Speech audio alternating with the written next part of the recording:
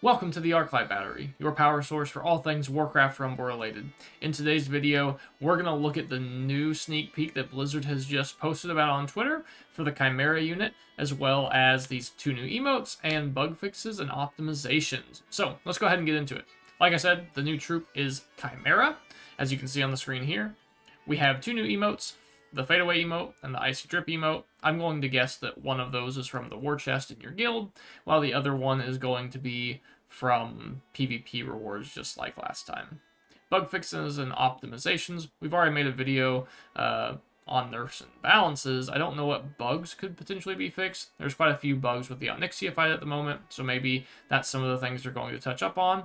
And then always here for more optimization. So, how can we expect to get Chimaera? Well, if it's anything like Sylvanas, he'll be available as a guild reward, as well as PvP rewards, and as a bundle in the shop.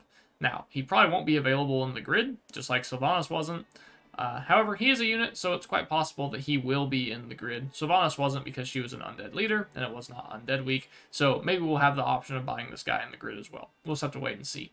But Blizzard has released a video of this unit, and I just wanted to view it and we will talk about it as it plays. It's only 40 seconds, so it won't take too terribly long. So let's go ahead and do that. A new terror reigns. Okay, across the skies in season two. We have a chimera. Awesome. Ooh, so we can see there that it cost five gold when we deployed it, so we know it's a five gold cost unit. So that's interesting. And there's a poison spit and a ball of lightning that looked like it chained, so a chain lightning attack.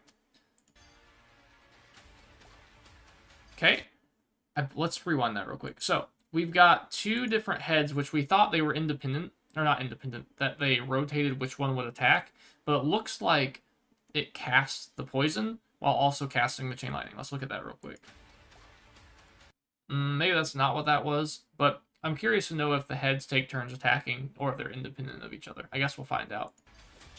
Okay, poison blob there, and lightning uh, to the vultures this isn't confirmed, but it looks like the poison attack is probably uh, a bombard attack, so it may only hit ground units, but the chain lightning looks like it can hit anything, so that's that's pretty good.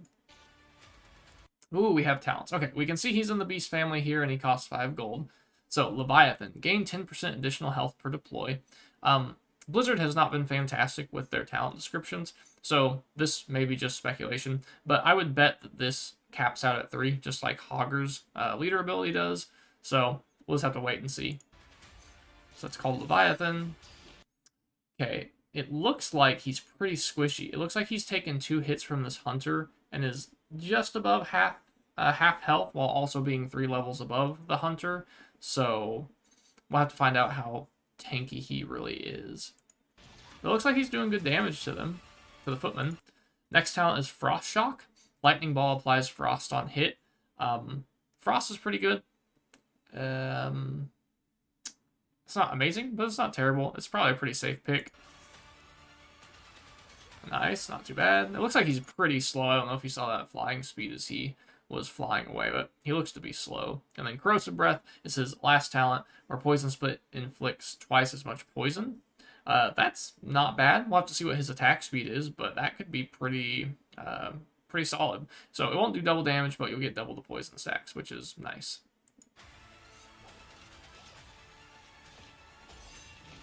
Awesome. It looks like his attack speed is relatively slow for each head, but you have two of them. And this says available December 10th, 2023. Alright, it's a pretty good video. Let's talk about what you might want to do with him. So far in this game, 5 and 6 gold costumes don't have the best track record of being good, uh, however, Huntress is an exception. I would probably put money on Chimaera also being one of those exceptions. He seems like he's going to have a very good spot in different archetypes.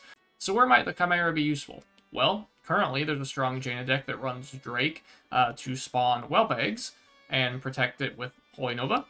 Um, you know, Chimaera can't spawn whelp eggs, but it might take the spot of Drake in this deck where you can play it as your flyer to control the bridges or different gold control, gold points on the map, and support it with Holy Nova the same way you support Drake.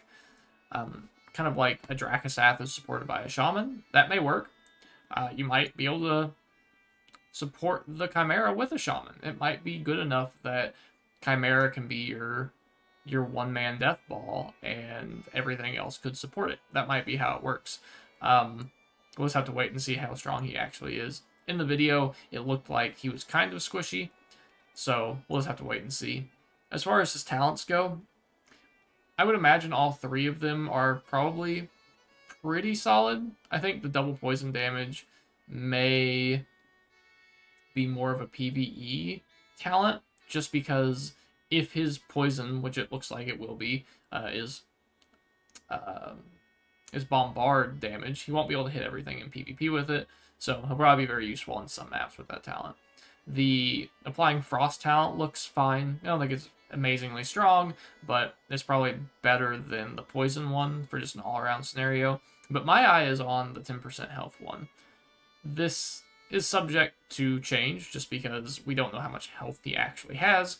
Um, so it might not actually give him a boost, and it probably has a cap on it too that we won't know until we actually get to play him. But I think giving him the extra percentage health every time you play him just makes him more of a uh, carry unit and replaces Drake in this deck. Maybe it doesn't, but once again, we're just going to have to play with him and see. With that said, Shaman is probably good with him. It is 9 gold, and, you know, it's it's kind of expensive. But if the unit is strong enough that he can be his own death ball with Shaman, then it may be worth playing. We've had a lot of, like, uh, Footman Deathball builds and Drakkisath two-man army type builds, but none of them have been flyers yet. So I'm interested to see what a Deathball can do when it is a flying unit.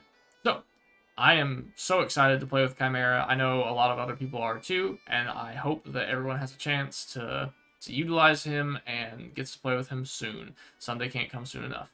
So, thank you for watching. I appreciate you guys being here. And until next time, bye. Real quick, I just forgot to add, there is someone by the name of BlueMax586 that is now making YouTube content that is part of my guild. Um, if you want to check out his channel, I'll have it uh, linked in the description below. He makes YouTube videos. He also streams on Twitch, so go ahead and check him out. Uh, he makes good, or he will be making good content. Uh, I've got faith that he'll be a good one to follow. Also, there's another person named 8U for dinner eight, like the number, U, just one letter, and then for dinner. He's also a guildie. He streams on YouTube and Twitch, and I don't believe he's making YouTube content yet, just streaming, but he is progressing through Onyxia right now, uh, so he'll be fun to watch as well. Just wanted to give them a quick shout out. So, there you go.